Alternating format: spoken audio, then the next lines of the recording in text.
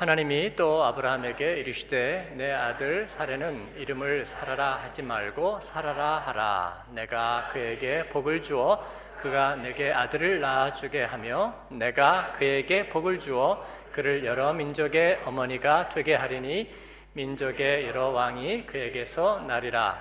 아브라함이 엎드려 웃으며 마음속으로 이르되 백세된 사람이 어찌 자식을 낳을까? 사라는 90세니 어찌 출산하리요? 하고 아브라함이 이에 하나님께 아뢰되 이스라엘이 하나님 앞에 살기를 원하나이다.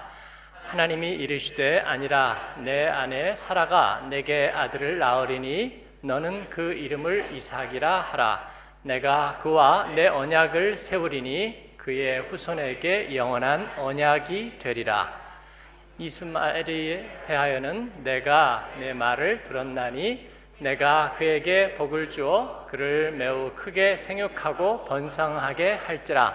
그가 열두 두령을 낳으리니 내가 그를 큰 나라가 되게 하려니와.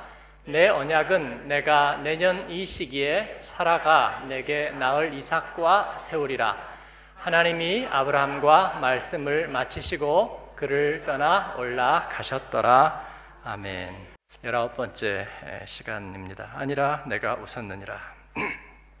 이 말씀은 이제 18장에 이어지는 다시 아브라함이 17장에서 웃고요. 18장에서는 사라가 웃죠. 어, 왜 사냐건 웃지요. 사라는 왜 웃었을까요? 아브라함은 왜 웃었을까요? 하나님이 주신 이제 100세에 90세에 어, 아들을 나으리라는 하나님의 수태고지에 대해서 어, 웃었습니다. 여기에 대해서 하나님께서 물으시는 거예요. 네가 왜 웃느냐? 아, 저 웃지 않았는데 아니라 내가 웃었느니라. 아, 속을 감찰하시는 하나님께서 그렇게 말씀하십니다. 어, 이 얘기 속에 담겨 있는 뜻이 뭘까? 이 구속사의 어, 새로운 장을 여는 아브라함의 이야기, 그의 믿음의 행전. 그러나 그는 아이가 없었고 그러면서 하나님의 많은 민족의 조상이 되리라는 하나님의 약속을 이행해야 될 사명. 어, 자녀가 없다면 그는 대를 이어갈 어, 믿음의 후계자를 잊지 못하는 예, 그런 당혹스러운 상황 가운데 있었습니다. 그런데 하나님은 그에게 변함없이 약속하셨다는 것이죠. 이 주제를 여러분 오해하면 안 되겠습니다. 불가능을 가능케 만드는 게 주제가 아니고요. 하나님의 약속이 성취되느냐 하는 것입니다. 이해하셨어요? 어, 아이 못 낳는 사람이 아이를 낳는다. 혹은 달리 말해서 어, 인간이 할 수 없는 것을 하나님이 하신다. 내게 불가능한 것이 어떻게인가 이루어진다. 지금 그 주제가 아니고요. 하나님이 지금 모든 불가능을 가능케 한다는 것을 여기에서 우리에게 시험해 보이려는 것이 아니고요. 인간의 삶에는 끊임없이 불가능한 일들이 있을 겁니다. 그렇죠? 그렇습니다. 어, 가령 예수님이 폭풍우 가운데 계셨다거나 아니면 시장하여 허기가 지셨다거나 아니면 40일간 굶주리셨다거나 이 모든 것들의 조건들은 계속 되는 거예요. 예, 우리가 믿음의 사람들이 예, 질병이 찾아온다거나 아니면 우리들의 자녀에게 어려운 일이 생긴다거나 예, 이런 일들은 하나님께서 하나님을 떠난 이 세상 가운데 우리가 살면서 겪을 수 있는 일들이에요. 어, 비가 오고 물이 나는 일이 있는 것입니다. 여기에서 하나님께서 이 이야기를 통해서 말씀하시려는 것은 하나님이 한 약속이 이루어지느냐 안 이루어지냐 지금 그 문제예요. 이해가 되셨죠? 안 되셨습니까? 네, 되셨으리라고 생각을 하고요. 네. 다시 얘기해요. 불가능을 가능케 되는 이야기를 하는 게 아니고 하나님의 약속이 이루어지느냐 하는 문제를 갖는 거예요. 근데 좋아요. 하나님의 약속이 이루어진다는 것을 우리는 어떻게 믿을 수 있을까요? 어떻게? 아브라함과 사라는 그 하나님의 약속이 이루어진다는 것을 과연 어떻게 실증적으로 믿을 수 있었을까요? 처음에 하나님이 그들에게 약속을 주셨을 때 아브라함은 그 약속에 의지해서 하나님이 말씀하시는 대로 고향과 아비의 집을 떠났습니다. 하란과 아, 갈대아우르와 하란을 떠나서 팔레스타인으로 그는 이주하고 그런 노마드의 삶을 떠났습니다. 아, 그걸 보면 우리가 아 그들이 믿음이 있었구나. 그렇죠. 하나님의 말씀에 의지해서 그들은 삶을 떠났고 그리고 히브리서 11장이 그들의 인생에 나중에 추서한 대로 그들은 돌아갈 것을 생각하지 않았습니다. 그리고 앞으로 앞으로 그렇게 나아간 거죠. 그러나 에, 그들이 흔들리지 않았느냐? 아, 많이 흔들렸습니다. 믿음의 길에서 어, 흔들렸죠. 근데 그건 정확하게 말하면 하나님의 말씀에 의지해서 갔지만 그들에게 보장은 없었거든요. 그죠? 목적지가 어딘지도 그다음에 하나님께서 그때마다 항상 위기에서 지켜주고 모든 것에서 미리 보장을 줬던 게 아니란 말이에요. 그러니까 그 얘기는 뭐냐면 그들이 흔들린 게 아니라 환경이 그들을 흔들었죠. 옆에 분이 친하면 한번 잠깐 흔들어 보세요. 흔들리나요? 굳건한가요? 네, 저 지민이가 흔드니까 흔들리네, 그죠? 그죠? 네, 흔들리죠. 그럽니다. 어떻게 안 흔들릴 수가 있어요? 아, 바람이 부는데 이사야의 말씀에 이 백성은 실로 풀과 같다 그랬습니다. 풀은 바람에 흔들리고 바람에 눕죠. 예. 김수영이 쓴 시에 풀이라는 시가 있었죠. 예, 바람이 분다, 풀이 눕는다 그런 거죠. 이, 이 백성은 실로 풀과 같고 그리고 우리의 인생은 풀의 꽃과 같죠. 그래서 이리저리 흔들리고 그러니까 아, 하나님의 말씀을 따라 가는데 이렇게 저렇게 흔들리는 거예요. 어, 이단 사설에서는 그걸 보고 어, 네가 믿음이 잘못됐거나 가는 길이 잘못됐거나 인도를 잘못 받았다고 말해요. 그래서 네가 이렇게 흔들리는 거라고. 예? 참 진리를 쫓아서 바른 영성 으로 네가 나아가면 너는 흔들리지 않을 거라고 말해요. Sounds good. 굉장히 좋아요. 그러면 내가 지금까지 고백해온 신앙, 가져온 복음에 대해서 아 이게 아닌가? 네. 내가 섬기는 교회와 그리고 그 말씀에서 아 이게 아닌가? 어, 뭔가 다른 견고하고 흔들리지 않고 정말 절대로 움직이지 않는 그런 믿음의 길이 있을까? 그렇게 생각하는 거죠. 네. 그런데 그것은 틀렸습니다. 성경에 보면 그렇지 않다는 거예요. 네. 아브라함이 가면서 가뭄이 오니까 애굽으로 가잖아요. 가뭄이 오고 먹을 게 없을 때 이집트 나일강의 그 삼각지대 그쪽에 가면 항상 양식이 있고 피난처가 있었단 말이에요. 그래서 사람들은 그쪽으로 옮겨 갔어요.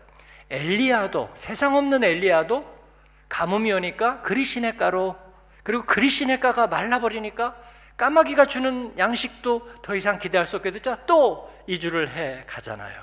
그렇죠? 예, 그가 흔들린 게 아니라 우리는 세상에 살면서 바람에 이는 풀처럼 그렇게 흔들리는 것이죠.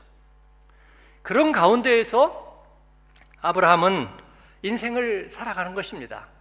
하나님의 말씀을 따라서 조카 롯과 헤어질 때에도 롯이 좋은 땅 차지하고 자기는 광야에 남겨질 때에도 그는 하나님 앞에 단을 쌓고 여호와 이름을 부르죠. 그는 흔들리지만 그러나 그 흔들림 속에서 촛불 속에 아니 바람 속에 흔들리는 촛불처럼 그는 하나님 앞에 불을 켜고 단을 쌓고 있죠. 저와 여러분의 삶이 그런 줄로 믿습니다. 그러니까 우리에게 믿음이 없다, 네 길이 잘못됐다 하는 유혹의 소리에 예, 죄는 회개할 겁니다. 만 번이라도 회개할 거예요. 내가 부정직한 거, 하나님 앞에 진실하지 못한 거, 그리고 우리의 언행 심사가 하나님 앞에 말씀에 비추어 의롭지 못한 거, 날마다 음식 찌꺼기 나오듯이 구원받은 우리가 아하 하나님 덕을 세우지 못했고 그 모든 것에 대해서 감추지 않고 하나님 앞에 회개하고 나갈 겁니다. 그러나 내 안에 계신 주님을 부정하는 일은 용납할 수 없어요. 내 안에 있는 복음을 부정해 버리는 것은 용납할 수 없어요. 아멘이신가요? 그렇죠? 안 그러면 우리가 서로를 정죄하게 될 거예요. 네? 목사님은 의롭다고 자신할 수 있어요? 없는데요. 그러면 내려오세요. 그럴, 그럴까요? 네. 순장님은 자격이 있다고 생각해요? 아니, 그냥 말씀을 나눌 뿐인데요. 네. 그런 사람이 어떻게 말씀을 나눠요? 그럼 뭐라 그러실 거예요? 네.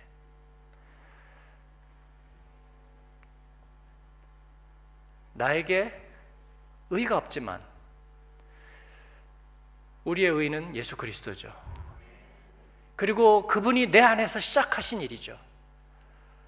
그리고 그분이 우리 안에서 이루어 가실 하나님의 약속이 오늘 우리를 살아있게 하는 이유이고, 그리고 우리가 회개하게 되는 이유이고, 그리고 하나님 앞에서 우리가 결승점까지 가야 할 이유이지요. 우리가 하나님 앞에서 내주와 맺은 언약으로 나아가는 우리의 삶과 우리의 신앙 공동체, 복음의 사람들의 길은 그래서 하나님 앞에서 때로 바람 앞에 흔들리지만 세상의 환경 앞에 흔들리지만 그러나 예수 그리스도와 함께 옳고 반드시 그 목적을 향해 가게 될 줄로 믿습니다. 그 길에서 모든 우리를 하나님 앞에서 그 길을 가지 못하도록 맞는 모든 괴계와 시험에 대해서는 우리가 단호하게 선포하고 나가야 될 줄로 믿습니다. 아브라함은 그렇게 했다는 말이에요. 그렇다고 그가 모든 일에 흔들리지 않았느냐 하는 것은 아닙니다. 아브라함은 하나님께 그렇게 말했습니다. 백세 된 사람이 어찌 자식을 낳겠습니까? 하나님의 말씀은 내가 이해하고 하나님의 약속도 내가 신뢰하는데 백세된 사람이 어찌 아이를 낳겠습니까? 우리 아내는 경수가 다 끊어져 버렸는데 90된 여인이 어떻게 생산하겠습니까? 살아도 웃습니다. 어색하니까 웃고요. 그리고 이치가 안 맞으니까 웃고요. 그리고 하나님 뵙기에 민망하니까 웃습니다. 이를 불신앙의 웃음이라고 할 수 있을까 하는 거예요. 불신앙의 믿음이라 할 수 있을까? 믿음에 사람들에도 어려운 일이 오고 병이 오고 또 신실했던 사람들이 갑자기 하나님 앞에 부름을 받고 그리고 양심적으로 하나님 앞에서 비전을 가지고 하려고 했던 사업과 우리의 생업의 일들이 어려움을 당하고 그럴 때마다 선교지에서 배척을 받고 그럴 때마다 우리의 마음이 흔들립니다. 환경이기 때문에. 그리고 그때마다 우리가 갖게 되는 것은 뭐냐면 하나님의 그 약속이 오를까 하는 거예요. 하나님의 약속이 오를까 하는 것입니다. 그리고 우리가 자꾸 흔들리는 것입니다. 사라의 일생을 생각해 보면 사라가 어떻게 언제 아브라함을 만났는지는 우리는 모르죠. 혹시 아시는 분 계세요? 네, 톡 주세요 하시는 분은 사라는 거의 65세가 되어서 하나님의 부르심에 이끌려서 이제 아브라함과 함께 고대 문명의 중심부를 떠나서 문명의 변두리로 노마드의 삶을 가게 되었습니다. 역주행을 시작했어요. 고단하고 정체 없는 삶이 시작되었습니다. 남자가 생활력이 강해요? 여자가 생활력이 강해요? 여자가 강하죠. 그러니까 아브라함은 말씀을 따라 갔지만 실제로 간 것은 사라예요. 예, 사라가 다 하는 거죠. 예, 다 챙기고 밥도 하고 그 다음에 뭐 가서 어디에서 먹고 자고 관계하고 이런 걸 다 하니까 사라는 사실은 아브라함보다 나이가 어리지만 훨씬 더 마음으로는 마음고생 그리고 더 마음으로는 더 많은 것들을 겪었으리라고 생각합니다. 기근이 자주 찾아왔고 그리고 아비멜렉 또 이집트의 파라오 예, 이 사라의 미모를 노리는 그런 환경 속에서 어, 계속되는 위기가 찾아왔습니다. 그런데 자녀는 없었습니다. 그런 가운데 하나님은 복의 근원이 된다는 약속을 주셨고 아브라함은 이것을 의지하면서 계속 계속 더 멀어지는 곳으로 가는 거죠. 아브라함은 이것을 믿었어요.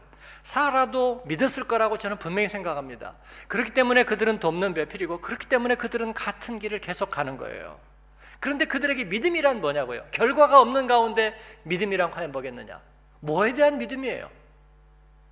약속이란 무엇인가? 약속은 어떻게 이루어지는가? 그때 하나님께서는 그렇게 묻습니다. 여호와께 능치 못할 일이 있겠느냐? 그렇게 물어보는 거예요. 아, 참 기가 막힐 노릇이에요. 아니 알겠습니다. 하나님이 전능하시고요. 믿음이 있어야 산다는 걸 이제 우리도 알겠어요. 그러나 우리도 바보는 아닙니다. 65세 시작해서 25년이 지나왔고 숱한 고비와 인생의 모든 일들을 겪어왔습니다. 우리도 바보는 아닙니다. 믿음의 눈으로 세상을 보려 했고 그러나 안 되는 일은 안 되는 일이잖아요. 라고 그녀는 말하고 있는 것입니다. 안 되는 일은 안 되는 일이잖아. 그러니까 안 되는 일은 안 된다고 하고 좀 그렇게 넘어가면서 우리를 위로하거나 다른 말로 해줄 수는 없나요? 라고 하나님께 물어보는 거예요. 근데 그 말이 무슨 뜻인지를 모르고 있는 것입니다. 우리도 신앙생활 하면서 그럴 수 있는 거예요. 어, 이 말씀을 묵상하면서 어, 제가 오늘도 어, 딱몇 시간 세성전에서 있었어요. 말씀 준비. 책이 거기 있기 때문에 여기는 아무것도 없기 때문에 네. 내일 이제 소방 검사하고 중공 검사 오늘도 지금 중공 검사 소방 검사 준비하느라고 중간에 갑자기 막 사이렌이 막 울렸어요. 어, 그러면서 알람 알람 예? 예. 화재 경보 막 나오고 방송이 얼마나 큰지 예. 그리고 우리 말로 또뭐 모든 사람은 당장 건물 밖으로 대피해 주세요. 나는데 아, 내일 이제 소방검사와 중공검사가 있네요. 아, 정말 오래 걸렸는데 아, 저희가 이따가 내일 중공검사 정말 잘 되도록 같이 기도하려고 생각합니다. 아, 근데 저희가 어, 교회 건축하는 것을 이렇게 생각하면서 보니까 아, 하나님께서 네, 저희에게 주신 소원과 비전과 약속이 있었습니다. 아, 우리가 여기에서 유럽을 품고 아마 아마 함께 처음부터 계셨던 분들은 저희가 유럽을 품고 아프리카를 섬기는 비전에 대해서 기도할 때마다 얘기했었거든요. 근데 아마 처음에 했던 분들은 그냥 어, 교회가 하는 항상 아, 좋은 말, 뭐 그죠? 만 명의 선교사를 보낸다, 뭐 예를 들어서 뭐 100개의 교회를 개척한다. 뭐, 교회마다 이제 그런 비전들이 있는데 뭐 그런 류의 예, 뭐, 그렇죠? 뭐 어, 뭐 슈발바흐를 품고 에슈본을 섬긴다. 너무 작잖아요. 그죠? 네. 뭐 아니면 뭐 오버 슈발바흐를 품고 뭐 저 아래 아래 슈발바흐를 섬긴다. 이것도 조금 작고요. 그러니까 유럽을 품고 아프리카를 섬긴다. 좀 조금 크니까. 그지만 뭐 아, 교회에서는 다 그렇게 말하는 거야. 그렇게 생각하지 않았을까 하는 거죠. 네. 근데 제가 몇 번 말씀드렸어요. 저는 스케일이 큰 사람이 아니고 새 가슴이라고.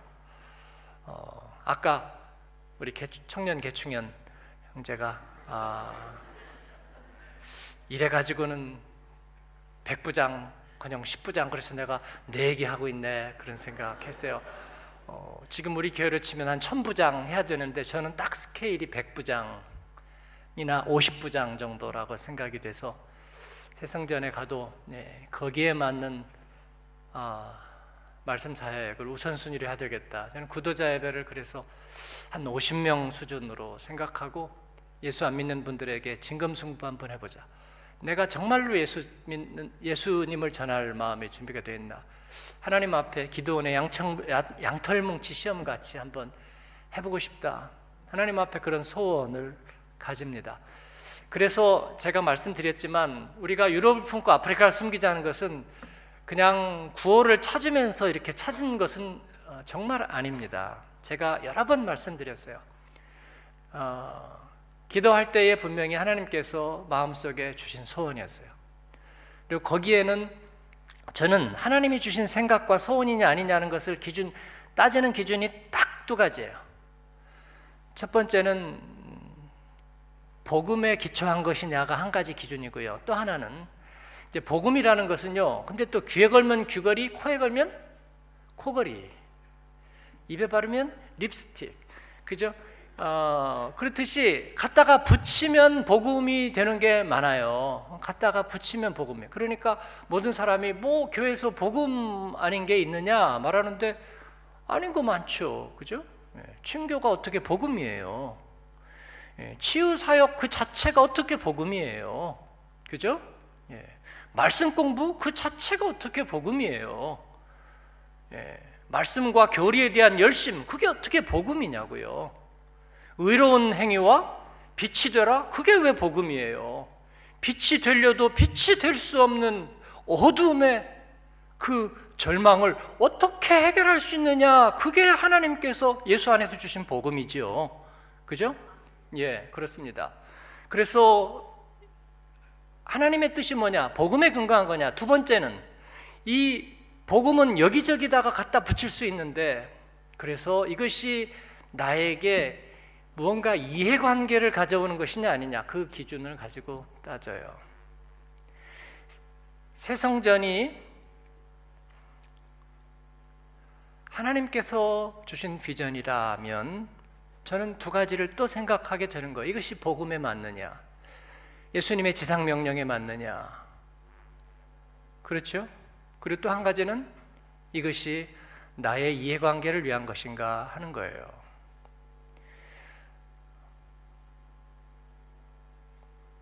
그 점에서 저는 하나님 주신 비전이라고 믿어요. 뭐 길게 얘기하지는 않겠어요. 유럽을 품고 아프리카를 섬긴다. 예. 저는 이것은 우리와 저의 이해관계는 아닙니다.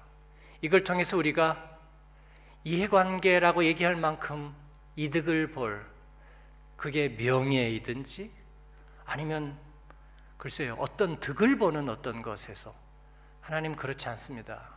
그러니까 이건 하나님의 뜻이에요. 그리고 이것을 품고 있지만 제 마음 속에는 현실을 살아가면서 그 믿음을 실제로 입증하지 못할 얼마든지 많은 이유가 있었습니다. 우리가 뭐간데 도대체 한인 공동체 하나가 유럽을 품는다는 말이 어떻게 하면 유럽을 품는 거죠?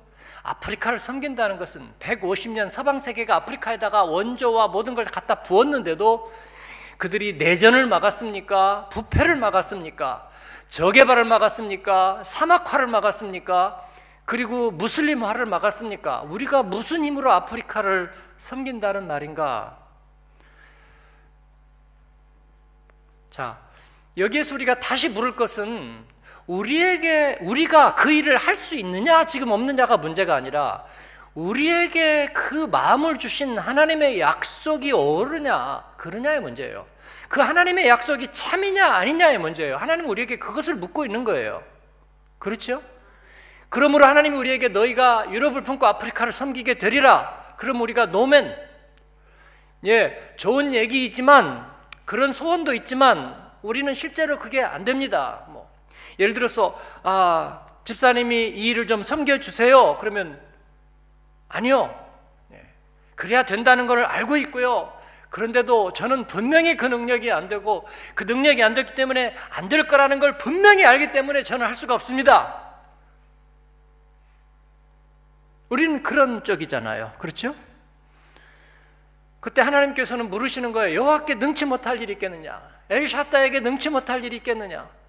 글쎄요. 인생 살면서 보니까 안 되는 게 너무도 많던데요. 저만 해도 안 되는 게 너무도 많았고. 근데 제가 뭐라고 대답해야 될까요? 그냥 웃어야지, 그죠? 웃어야지. 예, 뭐, 예. 성전을 건축하는 일도 역시 마찬가지. 우리가 어, 여기에서 하나님 앞에 선교적인 플랫폼 그리고 우리가 더 그렇게 쓰임 받는 복음의 전당 하나님이 그런 소원을 계속 주시지만 어, 뭐 땅을 사고 성전을 짓고 어떻게 보면 인간적인 일 같기도 하고 물질적인 일인 것 같기도 하고 우리가 뭐 어, 헌금을 모아야 되는 일인 것 같기도 하고 아니면 그럴 만한 사람들이 모여야 되는 것 같기도 하고 아닌 것 같기도 하고 같기도죠. 예. 그러나 하나님께서는 우리에게 어, 소원을 주셨고 또 그런 일들을 이렇게 이렇게 이루어 가셨습니다. 지난 일들을 어, 주마등처럼 이렇게 세워보면 예, 그런 일들이 계속 되었고 또 수많은 사람들이 배역으로 동원되고 하나님께서 그때마다 기도하게 하시고 예, 거기에 예, 우리에게 복음과 일치되는 소원을 주시고 그리고 중요한 것은 거기에 어느 누구의 이해관계도 없어요. 어느 누구의 이해관계도 없어요. 예, 저의 이해관계도 당연히 없습니다. 그러므로 이것은 하나님께서 우리에게 이루 가신 이라 믿습니다. 건축을 지난 2년 동안 하면서 여러 가지 일들이 있었습니다. 우리가 위원들이 또 애를 쓰고 해가면서 서로 마음을 맞고 이 의견을 조율해 가는 것도 아주 간단한 일은 아니었어요. 어, 그럼에도 불구하고 큰 불협화음과 문제가 없이 여기까지 오긴 했지만 그러나 긴장이 없었던 것은 아닙니다. 그리고 야 이것이 과연 가능할까 하는 생각도 중간에도 여러 번 했습니다. 그러면서 우리가 잊어버리기 쉬웠던 것은 뭐냐면 아, 이것은 하나님께서 우리에게 갖게 하신 생각이고 하신 일이라는 것을 자꾸 중간에 잊어버리는 거예요. 저도 자꾸 중간에 잊어버려요. 건축이라는 하나의 조건이 자꾸 남는다는 생각이 드는 거예요. 그러나 어, 오늘도 어, 유럽에 있는 그 목회자 선교사들이 한 200여 명이 저희가 장, 올해도 목성연 그 목회자 성경연구원을 섬겼거든요.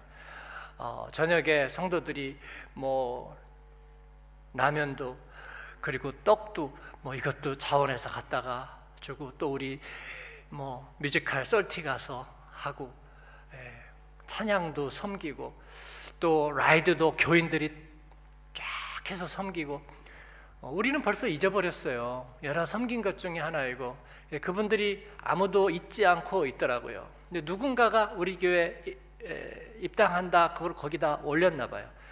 갑자기 제가 초대됐어요 거기에. 왜냐면 저는 이제 자꾸 빠져나오거든요 거기에 막 카톡 카톡 카톡 이거 빠져나오는데 갑자기 제가 초대됐는데 한마음교회 입당을 축하합니다. 그러면서 이제 하나님이 하시는 일, 유럽에서 하시는 일을 쭉 여러분들이 이렇게 쓰시더라고요. 제가 그것을 처음에는 그냥 인사 치련이 하면서 하다가 쭉 읽어 보다 보니까 아 그렇구나. 이건 하나님의 약속과 하나님의 아젠다를 따라가는 것이구나. 그런 생각이 강력하게 들었습니다. 그러니까 전율이 일어나고 그들 모두 다 이민 공동체 하나가 그냥 어떻게 헌금 좀 모으고 어떻게 사람이 좀 모이니까 교회 하나 짓고 그들이 뭐 좀 욕심 부리고 그렇게 생각하는 사람은 아무도 없더라는 거예요. 그리고 많은 분들이 지난번에 한마음교회 성도들이 얼마나 섬겨줬는지 우리가 그것을 너무나 기억하고 있습니다. 그리고 하나님께서 정말 그 일을 복 주시기를 바랍니다. 그런 축복들이 쫙 계속 쏟아지는 거예요. 물론 축복하고 바로 나가는 사람도 많이 있는데 어쨌든 그게 쭉 이어지면서 아하 예, 우리가 생각하는 것은 경험적인 진실인데 그러나 그 너머에 있는 것은 하나님께서 이루어 가시는 약속입니다. 여러분의 삶 가운데도 동일합니다. 제가 지금 교회 건축을 얘기하려는 것이 아니라 저와 여러분의 삶 가운데서도 하나님은 우리의 경험을 넘어서서 우리가 살고 있는 우리의 경험 세계가 생활 세계가 바람에 흔들리고 그리고 이런저런 것에 흔들리는데도 불구하고 하나님께서 우리에게 주신 약속은 하나님이 지키신다. 하나님은 이것을 우리에게 입증하기를 원하시는 것입니다. 그런데 거기에서 우리가 웃어버리면 안 되는 거예요. 웃어버리면 안 되는 거예요. 우리가 그 약속을 놓쳐버리면 우리는 아무것도 없어요. 아무것도 없어요.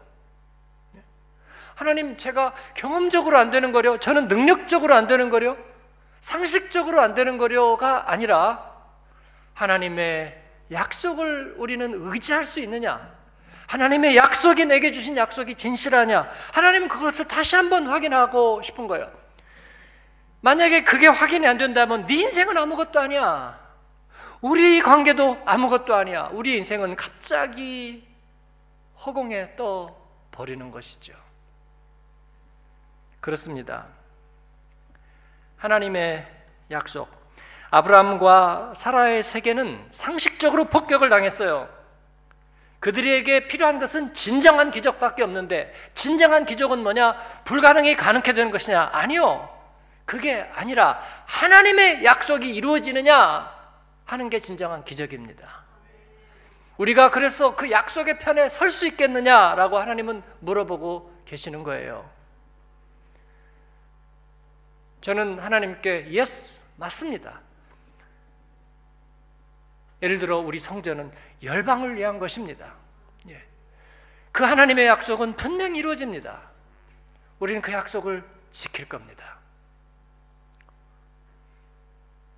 원수 마귀가 뭐가 뭐가 까부르고 흔들어도 우리는 반드시 그 일을 이뤄낼 겁니다. 왜냐하면 하나님의 약속이니까 그 약속이 없으면 우리는 아무것도 아니니까 주님이 시작하신 일이니까 그 일을 이루고야 말겠다는 것이죠. 하나님과 세상 사이에서 줄타기 하는 인생은 불행합니다. 로마서에서 바울 사도는 그 아브라함과 사라의 운명을 그렇게 얘기하고 있습니다. 아브라함이 바랄 수 없는 중에 바라고 믿었으니 그 말이 무슨 말인지 아세요? 무슨 말이군요? 바랄 수 없었다는 말이에요, 실제로. 실제로 현실적으로 바랄 수 없었다고요. 근데 바랄 수 없는 중에 바라고 믿었대. 그 말은 말이 안 돼요. 바랄 수가 없다는 말은요, 바래도 되는데 안 바랬다는 게 아니고, 바랄 수 없었다는 말이에요. 그러니까 불이 꺼졌어요. 근데 꺼진 불을 다시 봐. 꺼졌어요. 또 다시 봐. 근데 또 꺼졌어. 그게 뭐예요? 바랄 수 없는 중에, 근데 뭘 바라고 믿었냐? 꺼진 불을 다시 본 거예요? 아니죠. 바랄 수 없는 중에 바랄 수 없었던 걸 바란 것이 아니라 바랄 수 없는 중에 하나님의 약속을 바랐다고요. 환경적으로 바랄 수 없는 중에 하나님을 믿었다고요.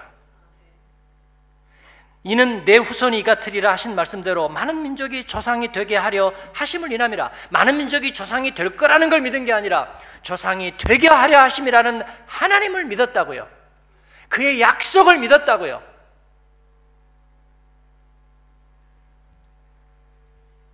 옛 충절어린 시인의 말처럼 이 몸이 죽어주고 일백0번 고쳐주고 백골이 진토되어 넋이라도 있고 없고 그러나 임양한 일편단심이야 가실 줄이 있으랴 그렇죠? 그렇습니다 이 몸이 죽고 주고 일백0번 고쳐 죽어도 환경이 나를 까부르고 마귀가 나를 뒤집어 엎고 네가 믿는 복음은 가짜라고 아무리 백 번 까부르고 뒤집어 엎어도 내가 바라고 믿을 것은 누구예요? 예수 그리스도의 십자가와 복음과 내 안에 주신 하나님의 사명은 참되고 그 약속의 하나님은 오르시다 하는 거예요. 할렐루야. 그게 아니면 뭐예요? 우리는 가짜죠. 거짓말쟁이죠. 수수깡이죠. 루이스가 얘기한 대로 카드로 지은 집이죠. 훅 불면 날아가 버리는 아브라함과 사라의 세계는 없는 거예요. 그냥 그나마 100세까지 거기까지 온 것만 해도 잘한 거라고요? 천만에요. 그렇게 성실하게 살아온 것만 해도 멋지다고요? 천만에요.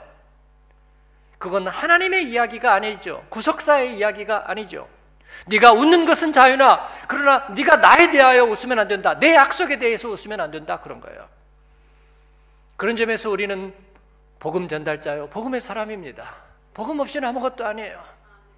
마귀가 와서 당신에게 만 가지 회개할 거 있다. 오케이. accept. 그러나 내 안에 있는 복음이 가짜라고 말할 자격은 없어요. 떠나가라 내게서. 예. 내가 오늘 십자가에서 나를 다시 100번 못 받게 할지라도 내 안에 계신 주님은 참되고 내 주는 살아계시고 그리고 내 주와 맺은 언약은 영원한 거예요. 할렐루야. 이건 양보할 수 없어요. 그래서 우리는 그 길을 갈 겁니다. 아브라함은 그렇게 가는 거예요. 하나님의 약속은 파괴되지 않았습니다. 그들이 초라하고 그리고 그들이 체념할 수밖에 없는 상황이 왔다고 할지라도 하나님의 약속은 깨지지 않았습니다. 아브라함이 웃고 사라가 따라서 웃었다고 하나님의 약속은 깨지지 않았습니다. 인간의 자유의지가 하나님의 복음의 능력을 거부하지 못했습니다. 그 얘기예요.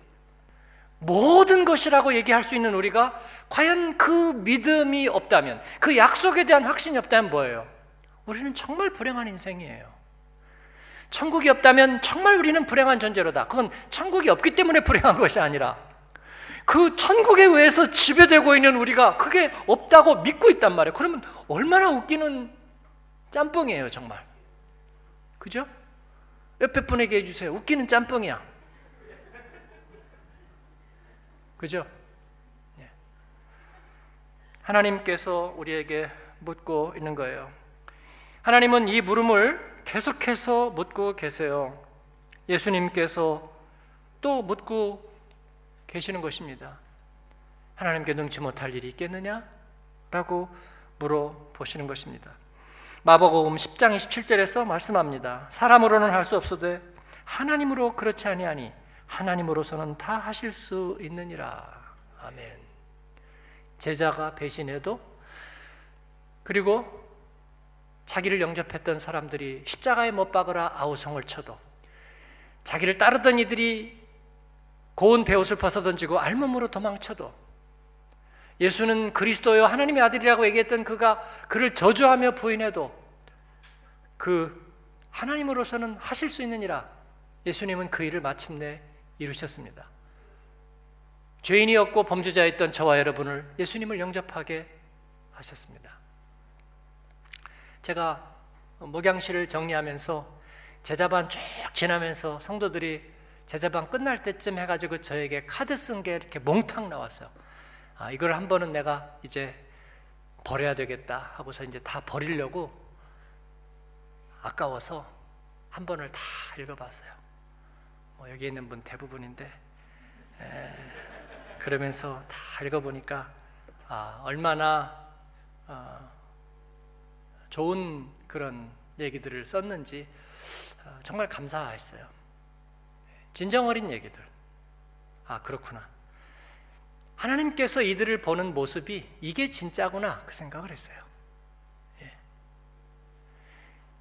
주님 앞에 가장 따끈따끈한 여러분의 모습, 하나님이 기뻐하는 모습, 그게 거기에 다 담겨 있어요. 오늘 제가 가슴에 새기고 찢어서 버렸습니다. 아, 이제 그건 버리니까. 그러나, 아하, 그렇구나. 있었어요. 여러분, 경험의 세계에 속지 말고요. 상식의 세계에 속지 않기를 바랍니다.